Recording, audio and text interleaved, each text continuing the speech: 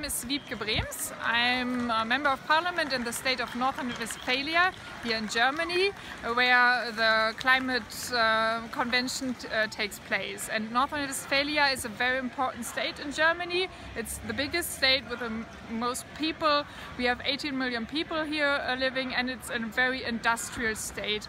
We have a lot of coal and um, really are really behind with renewable energy, so that's a big problem. And if North Rhine-Westphalia doesn't go on with the, the, renewable energies, Germany won't uh, yeah, get the, the, the, the targets um, which Germany wants, wants to achieve.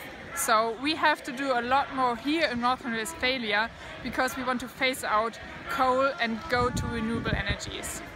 Uh, so hi, my name is Marianne. I'm the international representative of Ecolo J, uh, the Belgian Young Greens.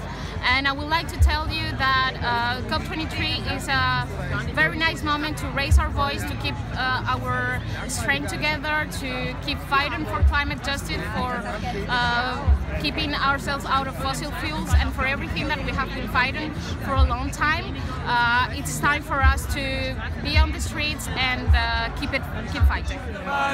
Think about the future, think about the future. Hey time. Keep those filthy coals in the mine. Think about the future, think about the future.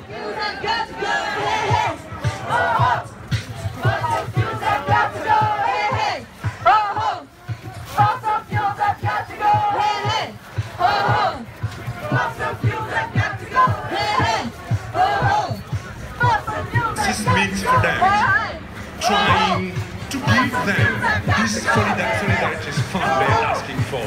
You remember in 2008 when they were...